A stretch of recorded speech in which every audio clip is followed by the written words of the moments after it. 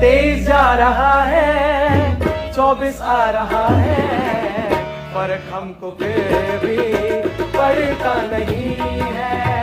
नए रेजोल्यूशन हफ़्ता चलेंगे, फिर हम दोबारा वही सब करेंगे।